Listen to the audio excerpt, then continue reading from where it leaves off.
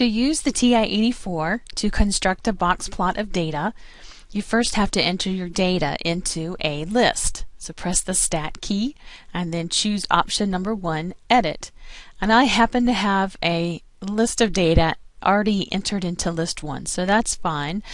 Uh, once that's done, press second and Y equals to access the Stat Plot menu. Choosing number one plot one gives you a lot of choices. And the first thing to do is to make the plot active. So if you if the cursor is blinking on the word on, pressing enter will change the highlight to the number one. And whatever is highlighted is what your calculator sees as active. Toggle down to choose the type of graph. There are six choices here, and we want to toggle to the right, right, right, and choose the middle graph on the second row. Press enter to change the highlighting and make that plot active.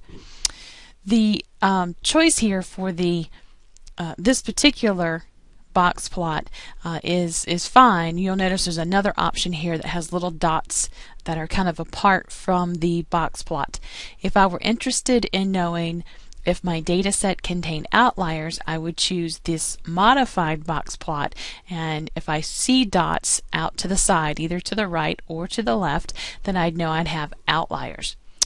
Uh, I toggle down and uh, tell the calculator what list contains my data, and for me that was list number one, so this is fine. And my frequency is also a 1. I would just want to use every data value one time. So now I press zoom and I toggle down to choice number 9 which should be zoom stat and by pressing enter the calculator will construct a box plot sized to the data list in list number 1. If I press the trace key, I can move with my left and right arrows through the plot and identify the five number summary. So the minimum value is 33, the first quartile is 46, the median is 51, the third quartile is 58, and the maximum value is 64. And that's how you use the 84 to draw a box plot.